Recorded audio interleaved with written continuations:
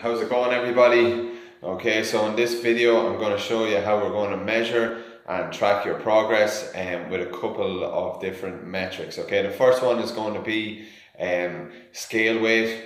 So I'm going to get you to use the scales um, as a measure obviously of your of your scale weight. Um, so before we start, um, the program I'm going to get you to do that so just whatever scales you have at home just step on it. Um, whatever it gives you it gives you. You can send me on um, the whatever your weight is through WhatsApp or a private message on Facebook or whatever way you want to do it okay?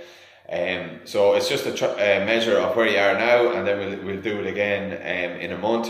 Um, scale weight only tells you a small part of the story. Uh, I don't like people to get too bogged down or to focus on that um, too much, okay? So scale weight, track that, um, just step on the scales and send me on whatever weight it gives you, okay?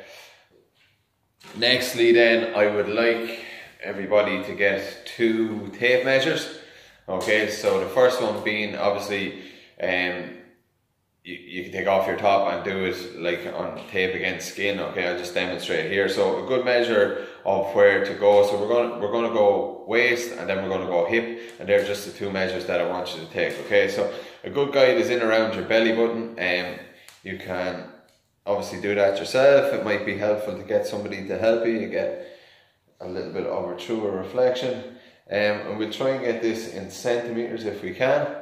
Okay, so you're trying to get put it in, not overly tight, but nice, nice comfortable tightness, um, and just measure where you are on that. Okay, so it can be around your belly button or the widest part of your stomach, um, or the biggest circumference. So take it there, and then we're gonna when we retest that, you're gonna use the exact same place. Okay, if you don't have it, um, a tape measure, you should use a piece of string.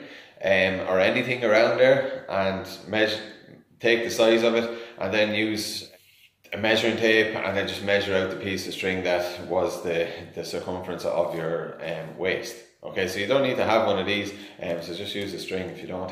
Um, the next measure then will be around your hips. Okay, so basically you're going to take the widest part of your backside and measure around there. Okay, so for this one as well, you can do it yourself. Um, just make sure that you're getting the widest part. Okay, and again, just take the measure there. It might help to get somebody um, to do it for you either, okay? So we're going to take two measures, waist and hip, um, and just try and get those done in centimeters. And then same thing, you can send them on to me in WhatsApp um, or in a private message. So what's, what this is going to do is you reduce um, body fat and as you get a little bit leaner, hopefully these measurements will come down. Okay, so another measure that for you to think about, um, you don't have to give this back to me, but just how you're feeling in your clothes. Um, so if your clothes as the program is going on are feeling a little bit looser, um, that's obviously a good measure of your, your progress and body composition as well. Okay. Then the last way of doing it, and this is entirely up to you, you don't have to send it to me at all, keep them for yourself, and um, it's going to be progress photos. Okay, so you can take a photo of yourself facing front on. Obviously, uh, try and have the minimal amount of clothing um, on so you can see like a real true reflection of yourself at the moment. So front on, side on, and then facing away. Okay, so three pictures.